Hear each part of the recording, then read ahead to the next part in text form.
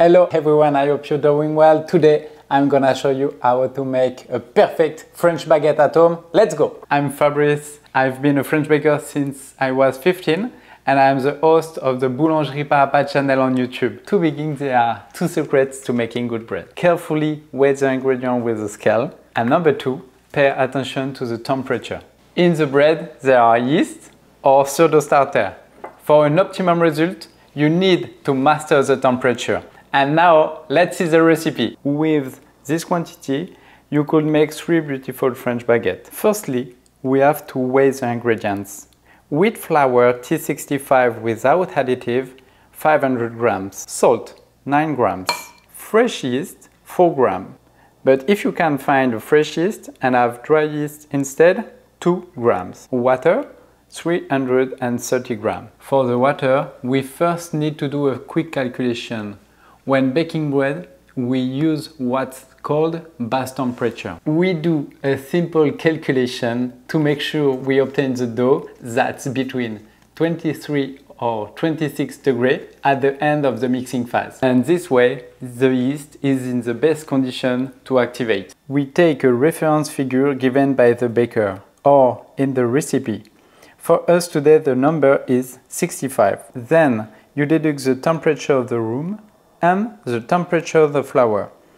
This will give you the water temperature for kneading. For example, 65 degrees Celsius is the base temperature, minus 26 degrees the room temperature, minus 27 degrees the floor temperature, equal 12 degrees Celsius the water temperature. So today we need to prepare the water at 12 degrees Celsius. And starter 50 grams. I created my starter six years ago with one apple and one spoon of honey.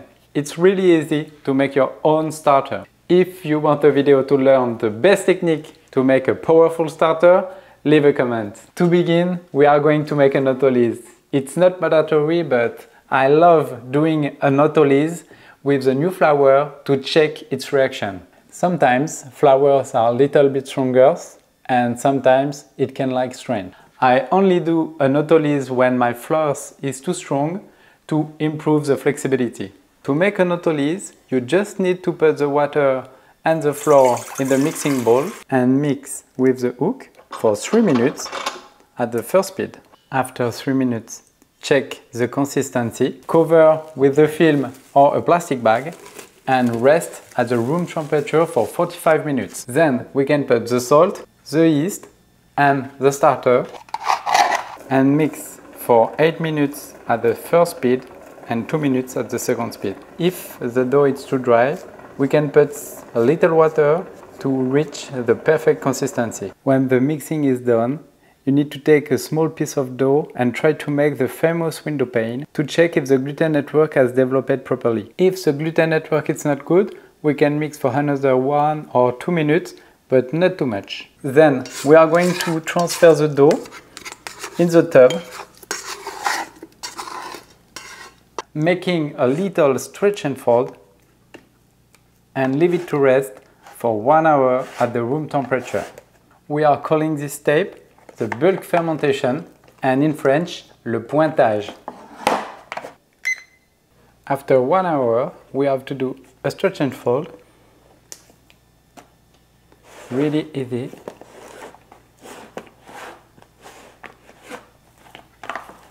Yes, perfect like that. Put the tub in the fridge at 4 degrees Celsius for 12 hours. This step gives flavor and better conservation to the bread. Bye bye! Next day, firstly, put the dough at the room temperature and wait till the dough reach 17 degrees.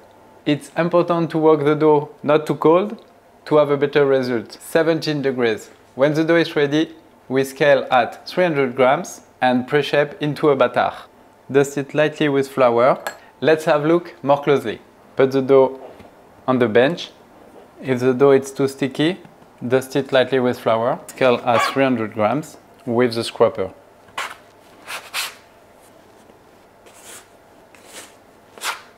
Let's pre-shape the dough.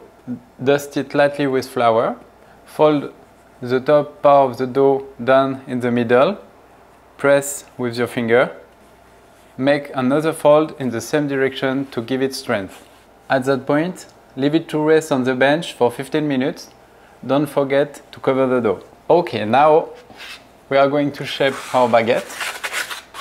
When you move your baguette, use the scraper. We need to prepare a couche to put the baguette. Put the seam on the top. Dust it lightly with flour and gently pat the dough to get rid of fermentation bubble. My tips for shaping your baguette is to shape twice in the same direction. Press with your finger.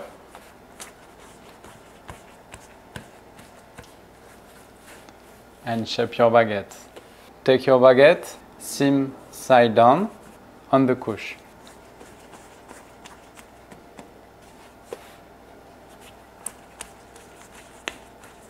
Two. Shape your baguette. Take your couche on the board and put your baguette seam side down. The dough doesn't stick, it's well shaped, it's perfect. How baguettes are shaped? Let's prove for 45 minutes at the room temperature.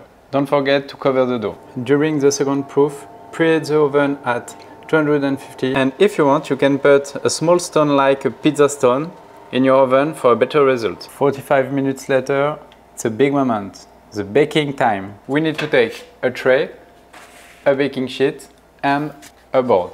Using the board, I transfer the baguette on the sheet, gentle. Remember, don't touch the baguette with your finger. Dust it with the white flour using the tea ball or a small sieve. Take your blade, use a razor blade, not a kitchen knife, and mind your fingers. We are going to score three times because my baguette is 30 centimeters long. One, two, three. One, two, three. One, two, My home baking routine. Step 1. Boil some water in the kettle. Step 2. Open the oven's door. Step 3. Put the baguette on the baking stone. Step 4. Put some water in the bottom tray. Be fast. And I'm baking my baguette for 15 minutes. The steam is really important to obtain a good color on your baguette. After 15 minutes, release the steam. and bake for additional 3 or 4 minutes. And don't forget, let's clean up our bench. Always keep your bench clean. Use the scraper. One of my tips, remove the excess of flour and after just with little water. Perfect. Time's up. Let's have a look. The baguette.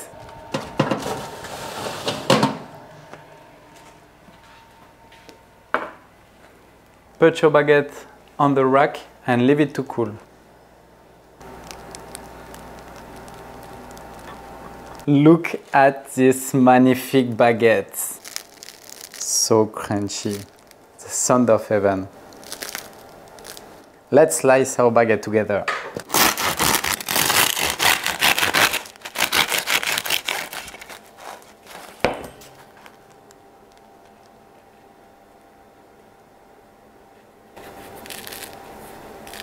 The honeycomb structure, it's perfect, terrific.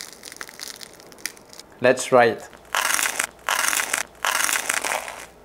Mmm. And the smell, I wish you could smell it. That's the result of the autolyse and the long bulk fermentation. Now you know how to make a perfect French baguette at home. If you like this video, leave me a comment below. Allez, bye bye